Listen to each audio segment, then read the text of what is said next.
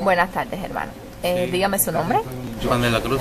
Hermano, eh, ya usted es cliente de nuestra compañía. Sí. Eh, queremos que le comunique a las personas que puedan estar viéndolo por primera vez, si usted está de acuerdo, ¿cómo se, cómo se siente hasta el día de hoy? Pues muy bien, porque ellos tenían muchas deudas y ya son, fueron removidas en el momento.